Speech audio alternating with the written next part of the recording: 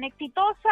llegó a la dirección legal de la empresa Top Sale, justamente el único postor que presentó una propuesta al Ministerio de Educación para importar las tablets que llegarían pues a hogares realmente necesitados de este recurso para continuar con el programa Aprendo en Casa. Nosotros eh, tocamos reiteradas veces la puerta de este local para poder justamente conversar con la representante legal Elba Ramírez Romero para que nos dé sus descargos justamente de ese comunicado que presentó el día de ayer el Ministerio de Educación manifestando pues que la empresa no habría cumplido con los requerimientos necesarios para garantizar no solamente eh, la compra de estos de estas tablets, sino también la seguridad de una postventa de, esta, de estos un millón cincuenta y seis mil cuatrocientos treinta tablets exactamente, además de doscientos tres mil cargadores y más de quinientos mil planes de eh, datos de Internet. Bueno, salió justamente uno de los trabajadores de esta empresa y nos comentó que el día de mañana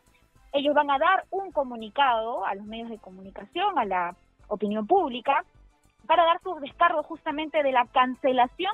de este contrato. Nosotros les hemos pedido que por favor nos, nos brinde una entrevista para ver cómo ha sido todo este proceso de contratación que lamentablemente deja como resultado a más de un millón de niños que no tienen las posibilidades para recibir la educación aprendo en casa y que prácticamente, como han dicho varios analistas, podrían incluso perder el año escolar. Nosotros pues estamos a la espera también de cualquier tipo de comunicación por parte de la empresa Top Sale para que nos amplíe justamente esta información sobre la cancelación de este contrato.